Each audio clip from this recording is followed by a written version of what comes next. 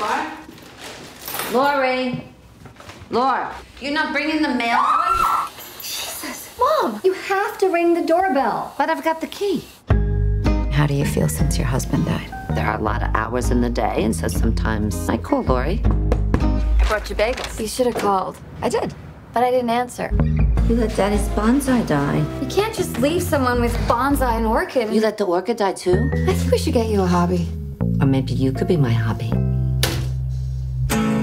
I have to go to New York for a few weeks. New York. I leave tomorrow. Tomorrow. If I go with you, I could be like your assistant. No. Marnie, what are you doing here? You said you needed a babysitter. I brought bagels. Mom, don't talk to my friends. What you have to do is have him tip you upside down. Uh, that's what Joe and I did to conceive Lori. Call me and let me know you gotten safe. Oh, and remind me to tell you what your therapist said. Do you maybe need a ride? I would kill my daughter if she died on a motorcycle. Oh, this isn't a motorcycle. This is a Harley Davidson. October, that makes you a Libra. Scales, justice. You should be a lawyer. Maybe. And not married. That's so funny. My daughter's not married either.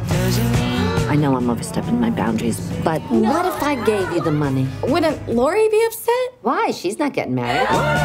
You got kids? Two beautiful girls. The one that doesn't like me lives just over in Palm Springs. I mean, it's not my business. But you have to call her.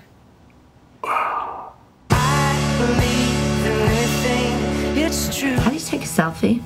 Who are you sending a selfie to?